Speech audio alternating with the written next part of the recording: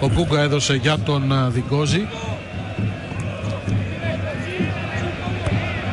Ο Δικόζης για τον ε, Κλέιτον. Αυτός εκμεταλλεύεται την κόντρα. Βγαίνει σε θέση για γκολ. 1-0 η Λάρισα. Είναι ο Σίλβα Κλέιτον που στέλνει την μπάλα στα δίκτυα και η Λάρισα στο 66ο λεπτό από την ενέργεια του Βραζιλιάνου που μπήκε πριν από λίγα λεπτά στο παιχνίδι ανοίγει το σκορ. Σίλβα Κλέιτον πλάσαρε τον Χαλκιά και έκανε το 0-1. Στο 66ο λεπτό η Λάρισα μπροστά στο σκορ εδώ στο Κλεάθης Βικελίδης.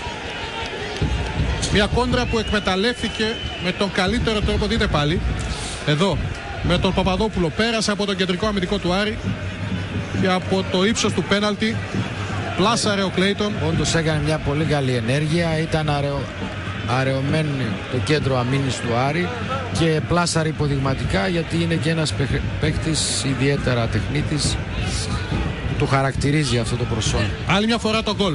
Περνάει ο Κλέιτον από τον Παπαδόπουλο, δεν προλαβαίνει ο Χαλκιάς. Άρης Λάρισα 0-1. Θα βγει ο Γκαρσία μέσω αλλαγή από τον Όγιος και θα μπει ο Γκιλέρμε Βάισχάιμερ. Ο παίκτης που είχε δώσει τη λύση στον αγώνα με τον Παναθηναϊκό 1-0 σε εκείνον τον αγώνα. Γκαρσία Δεν νικήσει ο Άρης. Έδειξε ότι δεν είχε δυνάμεις.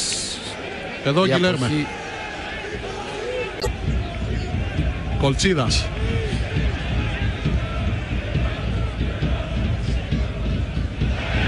Κόκε. Ο Κόκε σουτάρει και 1-1. Εκπληκτικό γκολ από τον Ισπανό.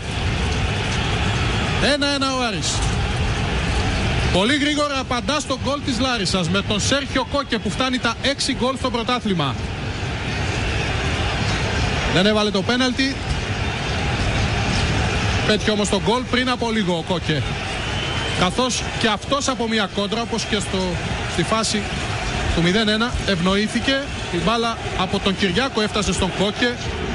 Το σουτ δεν μπόρεσε να κάνει κάτι ο Κοτσόλης. Άρης Λάρισα 1-1.